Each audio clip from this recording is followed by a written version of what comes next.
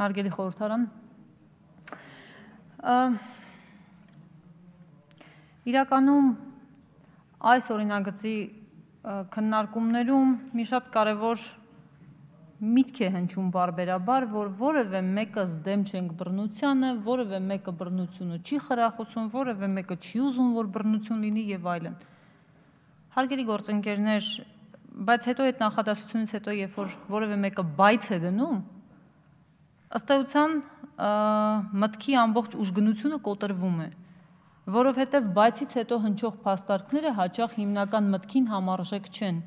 արվող բացառությունները հիմնականում համարժեք չեն։ Ինչու եմ ես սա ասում։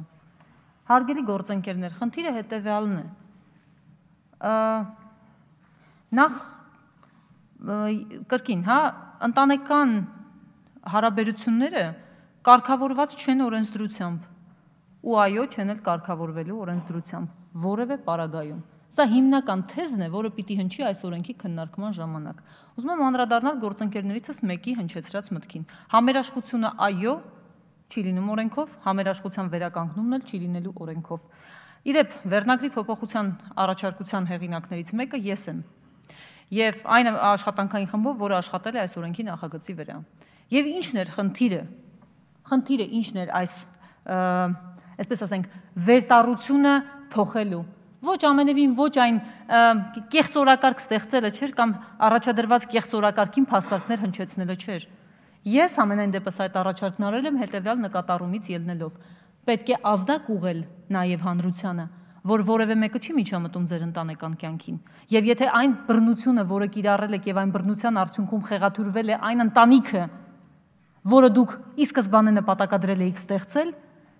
եթե կա որևէ խնդիր այդտեղ, ապա հնարավոր է որոշակի գործիքակազմով խնդիրը լուծել այդպիսով նպաստելով համերաշխության վերականգնմանը, բայց ոչ թե համերաշխությունը վերականգնել։ Կներեք, ոչ այս ելույթներով, ոչ էլ առհասարակ այս կամ այնտեղ արտահայտած դիրքորոշումներով ընտանիքում արժեքներ չեն պահպանվում, չեն ստեղծվում ու ոչ էլ խաթարվում։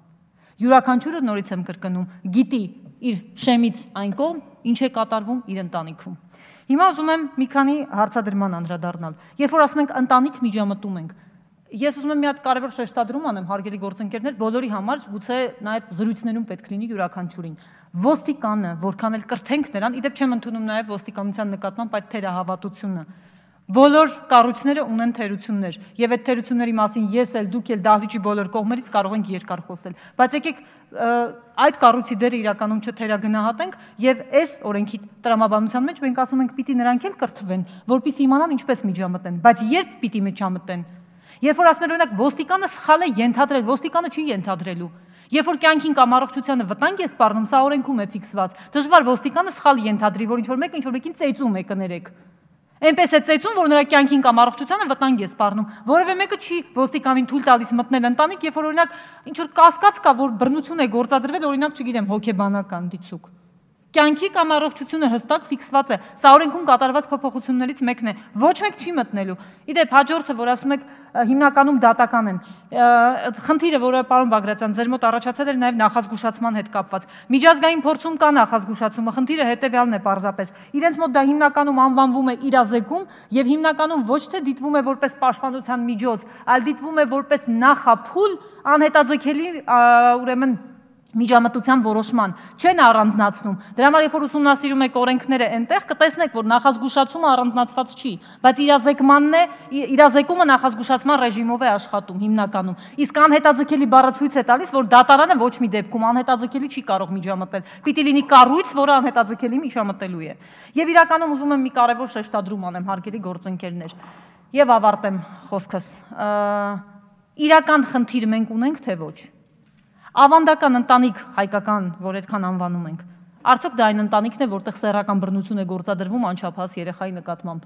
Վիճակագրությունը դա է փաստում։ Ուզենք թե ոչ,